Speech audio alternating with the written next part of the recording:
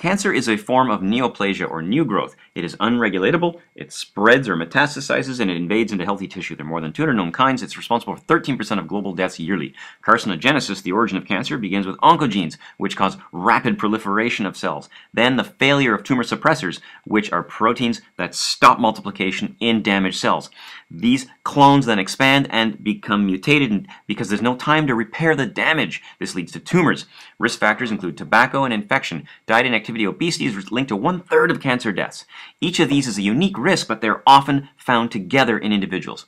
Radiation and heredity are also important. Spread is by local growth, by invasion in lymphatic channels or blood vessels. Bone, brain, liver, and lung are common sites for metastasis. Treatment is by surgery, chemotherapy, and radiotherapy. Prevention includes maintaining healthy weight, exercising, eating lots of veg, watch out for salt and processed foods, don't suntan, stop smoking, get a hepatitis vaccine.